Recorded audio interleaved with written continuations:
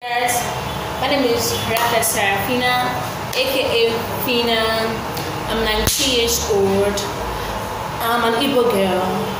Yeah, I'm from Enugu State, Udi local government. Yeah. Actually, one wants to in the house of 30 people in 30 days because Dreamed to be. You know, when someone wants to be in a particular place, you always you do everything just to get there. I'm doing everything possible to be in that house where I can meet my 30 mates, my 29 mates, where I can associate myself with people because I'm jovial. Know, I got the courage. Like I want to be there. I'm very fun to stay with. I, love socializing myself with people.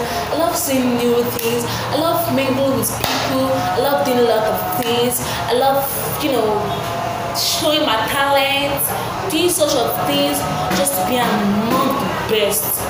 Now, the meaning of Game of Thrones, I guess, is is a game that's that deals that mostly deal with thrones, like games that deals with thrones, and it's also an American fantasy TV show that this that was introduced by a man called David, which I know he said there's nothing like sex there, there's no fight, no blood, no nothing like violating each other, no war, no fights, no insults, stuff like that. But I actually know in a simple phrase, it's a game that deals mostly with thrones. It's a game that I do mostly with thrones.